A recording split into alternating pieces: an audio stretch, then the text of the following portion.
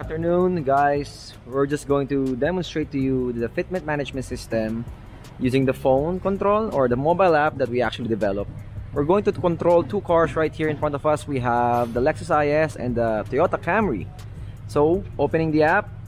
Okay it's searching for devices. We have Mercury and Bender. This is Mercury this is Bender. Selecting the device name. We have Mercury connected and we can actually race the car all right and then we can drop it. Set the preset. And turn on the leveling. If we want to.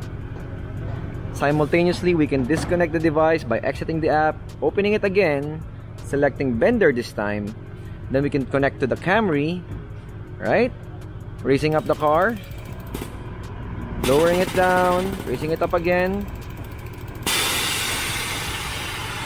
Seamless control is the right word. Now that is for the iPhone. While I prepare the Android phone, this is our management system and our layout. This is actually our own product, Fitment.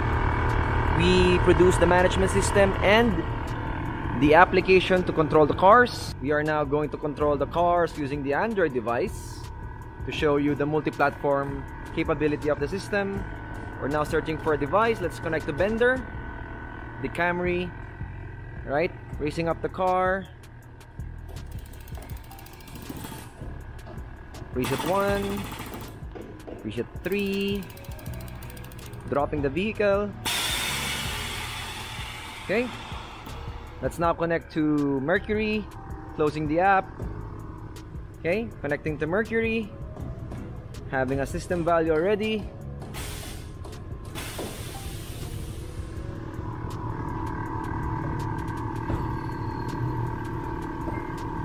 So this is the new era of air suspension. We can actually control the cars using our mobile phones. Traditional air suspension setup right now are actually using a separate mobile remote that can actually control to the system. But for this one, we actually devised a Android app and a system and an iPhone app that can just control the car because our mobile phones are actually just as powerful or even more powerful than those remotes that we can actually buy from Airlift, etc. So here's our management system right? We're sporting Viair pumps as well, seamless tanks, the standard ones. Alright. This is the management system. Just the same. So, that is a quick demo of the system. Hope you like it. Let me know your thoughts. Thank you.